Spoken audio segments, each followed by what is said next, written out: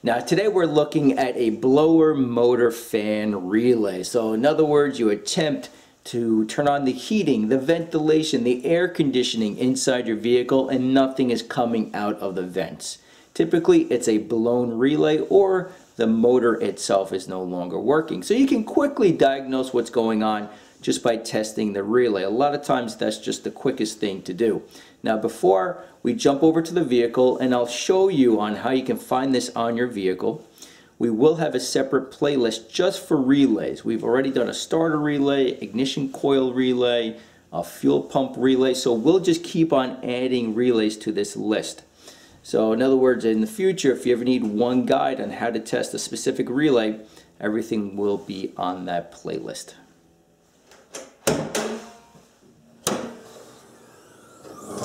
So how do you find the relay specifically on your vehicle? Well, really two things. Number one is do a web search. So in my case, 2006 Acura TL blower motor fan relay, and I'll have quickly, I'll have diagrams and pictures showing where the relay lives. If that doesn't work, visit a forum specific for your vehicle. Many times you have members that will know your vehicle inside and, and out. If you still have trouble, just open up the hood. If you're not too acclimated with your vehicle, you're not sure what you're really looking at, obviously it can't be this because this is the engine, of course. Can't be too close because this pushes out a lot of heat. And if we look to the left, can't be over here. This is the windshield washer fluid reservoir. Let's look to the right. We have this plastic piece that runs to the throttle body. Can't be this. This is the air filter. But right here is the fuse and relay box. Now, you can typically know very quickly because you often find these plastic tabs right here. You just push in these tabs and the cover comes right off. And when you rotate the cover, you have a schematic, which I'll explain what this is in a moment. Now, if it's not here, again, it's inside the dash, but use web search. Use a web search because it will save you a lot of time. So again, we remove the cover, and let me zoom in here. If this looks a little confusing to you, it's quite simple. Whenever you see numbers, these are fuses. So we're not concerned with any fuses. We need the relay. So we have these rectangular looking components, we can call them. And these are relays. So in my case, I have five relays here. But which is the correct relay? Well, take the cover and rotate it. And again, you have a schematic on the back. So let me zoom out here. And the symbol for relay is this guy right here. So one, two, three, four, five. So again, five relays. Ignore any numbers. So this looks like the rear defroster. When you turn on the defroster inside your cabin, inside the vehicle. So this is the rear defroster relay, so that's not it. This guy looks like a snowflake.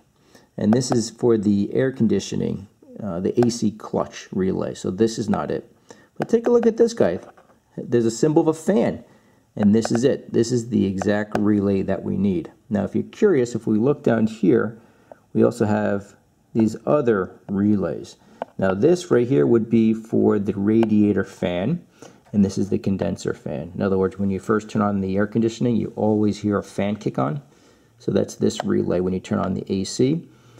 And again, this is the radiator fan relay. So this is the correct one there we go. This is the correct one. So one, two, three. Okay? So it's that simple. One, two, three. Now sometimes these can be a little tight. So what you can do, in my case, there's no way I can remove this. It's a little, actually I probably can, but if you can't, grab yourself a piece of cloth, microfiber, very gently, very gently. You, you can use a pair of pliers, very gently just pull up and as you can see it doesn't damage it and there's your relay now testing the relay is very very simple we're just going to recreate how this lives inside the vehicle in other words inside the relay there's a switch so when this is powered by the vehicle there's a little switch that moves and then allows power then to flow to the motor the blower motor inside the vehicle so how can we recreate this? Well, we need to get battery power to the relay. Now in my case, I have a battery pack. This pushes out pretty close to 12 volts, so this will be absolutely perfect. If you do not have a battery pack, you can use your car battery. However, just be really, really careful. Now, to get power to this, I have to get some wires. So I have alligator clips. Now, anything you see here, I'll have links in the description box below to Amazon. And if you're a Prime member, typically within one day you will have it. But that being said, I'm just going to take one lead to the positive. That's the red wire on the battery. Again, same on your vehicle. There's a red wire and a black wire. Red is positive, black is negative. So at this point, I don't want to cross these wires because we'll have a nice little spark. So if we take a look at the relay, we have two terminals that are horizontal another two that are vertical. So the question becomes, we need to take these leads to these terminals. Now, which one do we touch? Well, just do trial and error. So let's first try the top terminals or the horizontal terminals here. So one lead will go here and another lead goes here. Now if you hear clicking noise, that is very, very good. But nothing, okay? So we don't hear anything. You can even reverse it. It does not hurt the relay. If we reverse it, nothing, okay? So nothing's going on there. Let's try the other the vertical guys here. So again, one lead goes there. The other lead, you hear that? That's very, very, it's a very, very good sign. Again, let's say I did it reverse the other direction. Doesn't make a difference, okay? So now power is being applied to the relay. But now I need to verify that we have continuity. In other words, inside here, there's a little switch that moves that connects these two terminals. And continuity just means two points make a connection. Now to test for continuity, you need a multimeter. Again, this is only $15. This exact one actually off Amazon. And if you take a look at all the different symbols on a multimeter, look for the Wi-Fi hotspot. Okay, this guy, that's continuity. Okay, so right here we have continuity. So we need to verify that inside the relay there's a connection. That's all that we're doing. Now with the multimeter, there are two leads. There's a black lead. It comes with the multimeter. Okay, black lead. And there is a red lead.